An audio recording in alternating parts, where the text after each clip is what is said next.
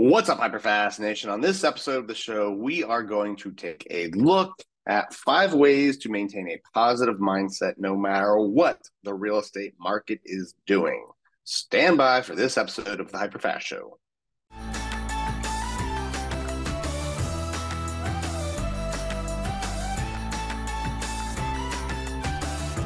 All right, welcome back to the Hyperfast Agent Show. Thank you for tuning in today. We are going to talk about five ways to keep a strong mindset. I know that this uh, may not be as tactical as you're used to getting because on this podcast, I try to keep it all tactical and actionable. Uh, we've been doing a lot of those kind of episodes lately and uh, having guests on that uh, have kind of paved the path and, and hopefully have been where you want to go. Uh, last guest we had on uh, was Avery Carl. She went from zero to a billion in five years. Um, done a bunch of episodes after that on things like converting uh, buyers after the NAR settlement, how to convert listings and sellers after the NAR settlement, expireds. Uh, last week we did a bunch on teams right? Different team models, uh, different times. If you're a team member, by the way, uh, when and how you should consider leaving a team. Uh, but today we are, um, you know, going a little bit into mindset because I know with where the market's at, it's been hard for many, many agents. Um, so if you're feeling that way, you're not alone. And here are five ways to maintain a strong positive mindset no matter what's going on in the market. Number one, focus on what you can control.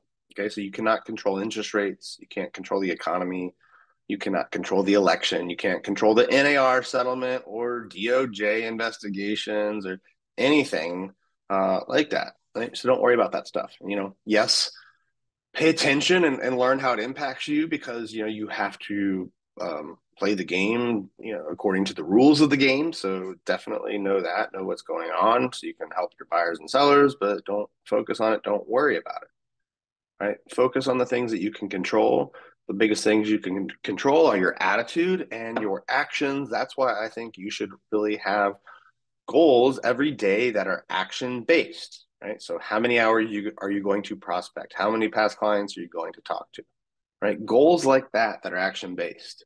Um, you know, how many emails are you going to send out? How many texts are you going to send? So, make your goals action based, right? Focus on the things that you can control. Number two, uh, show up with gratitude, right? Practice gratitude every day. This is not just some like woo woo thing or you sit around chanting like affirmations, right? This is uh, being grateful for the things that you have so that your energy level's elevated, your mindset's elevated, and you will show up better, right? I promise you. If you if you have uh, gratitude and thanks for you know your family, your your your health, um, just any little thing around you, right? If it's a you know nice day out, right? And if you just show up with gratitude, uh, you will show up better for your clients. You will show up better in listing appointments. You'll sound better on prospecting calls, right? So practice gratitude each and every day. Number three, invest in professional development. Right. Um, this this means you you have to invest time and maybe in some cases money. Right. If you if you can't invest money, uh, you have to you have to invest time. Uh, and, and, even if you invest money you still have to invest time because you can buy the best coaching or go to the best events but if you don't show up and implement right it's all all for naught.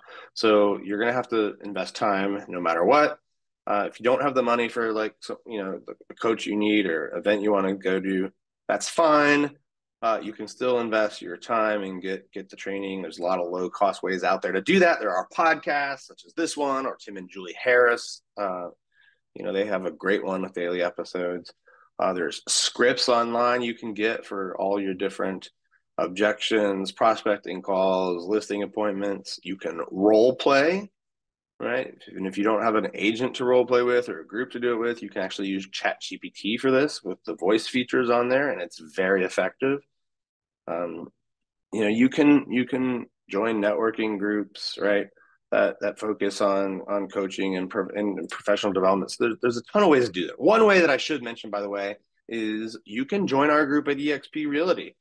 Right, Keri and I partner with hundreds of agents now, in, you know, over a dozen and a half states. We provide coaching from us personally. We provide group coaching, masterminds, uh, online coaching from Hyperfast Agent and from another nationally recognized coaching company. So you get multiple sources of education when you partner with us at EXP Realty, right? You get all of the benefits that you normally would get at EXP Realty, but you also get uh, tons of training and support from us um, and, and our whole upline. So if you want to learn more about that, just pick up your phone and text me at 703 638 4393, and I can share with you. Um, you know how we will partner with you how we'll help you sell more homes how we'll help you build revenue share so that you can have more passive income right? Uh, you get all of that when you join us at exp realty. And i'd love to have that talk with you. 703-638-4393 all right number four right? Uh, number four is surrounding yourself with a supportive community.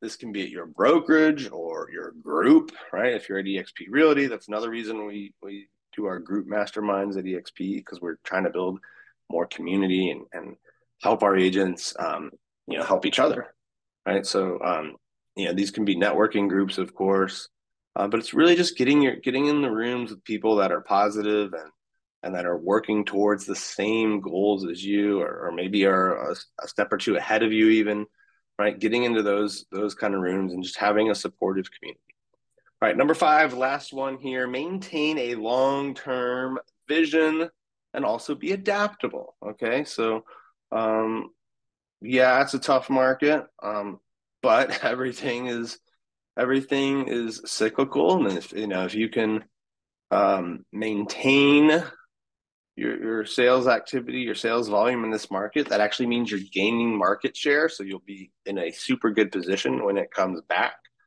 Um, you know a lot of the people that you're prospecting now are, are, are potentially coming like pent up sellers or pent up buyers meaning because the economy or interest rates or inventory, right? They're they're still interested in moving or buying or selling, right? They're just putting it off six months or twelve months. So, um, you know, if you if you just realize that as you're prospecting, maybe it's less business now, but a lot more in six months or twelve months, right?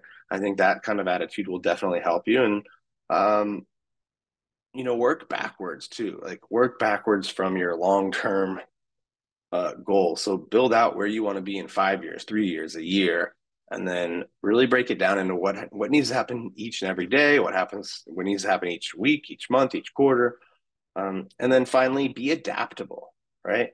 Um, you know, you're you're you you need to be adaptable in this market, and just because something was working great for you as a lead source or prospect before, um, you know, doesn't doesn't mean it can't shift if the market changes right? Which is what a lot of people saw in 2021 2022 so so definitely be adaptable um, while maintaining a long-term vision. So hopefully you guys got uh, value out of this. Um, please make sure you leave us a review on itunes leave us a comment on youtube hit the subscribe button turn on alerts all of that good stuff share this uh, episode with other people right? Because uh, the more more viewers and listeners we get, the more you know, the more excited I get about the impact it's making. So please, I really do appreciate it when you share, repost, tell your friends, tell other agents that you think could benefit from it. Thank you again, and I will see you next time.